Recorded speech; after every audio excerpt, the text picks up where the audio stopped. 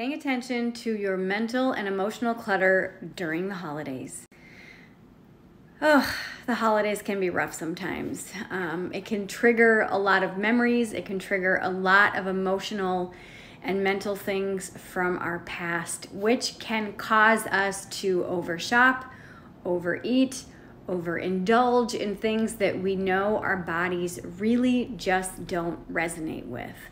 So before you go into any holiday situation, before you cross over that Black Friday threshold, before you go into any meal with family, give yourself permission to take that once over. Ask yourself, how am I feeling today? How am I thinking? Like, do I feel extra sensitive to today? I can't talk.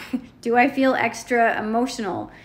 And allow yourself to recognize that as humans we go through these cycles just like our you know like um, monthly hormone cycles we go through these cycles during the holidays where we feel fine and then we're a hot mess and then we feel fine and then we're a hot mess.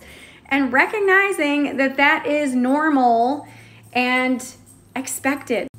Both of my parents are gone and so during the holidays I'll be fine one time and then all of a sudden a couple hours later I'm just a hot mess. And I know this about myself during the holidays. I know that the fall and the winter are those times where I just need to give myself some grace, have patience with myself and recognize when I'm feeling emotional and when I'm not.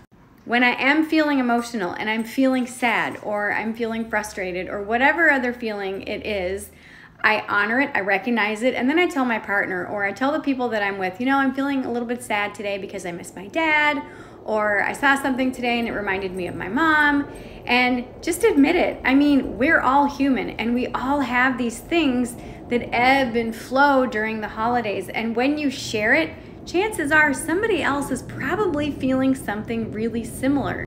Now, when we think that we're going through something just by ourselves, it makes us feel isolated. And isolation behaviors will pull back, we'll eat to excess, we'll shop to excess, we'll do other things to excess to try to numb out what we're feeling. So when you give yourself permission to just admit what you're feeling, you're going to be really surprised and hopefully pleasantly surprised um, with how many people are also feeling the same ebb and flow of emotion and energy. And recognize that this is body clutter when we hold it back, but when you can give yourself permission to air it out and share it, that's one way of helping it clear.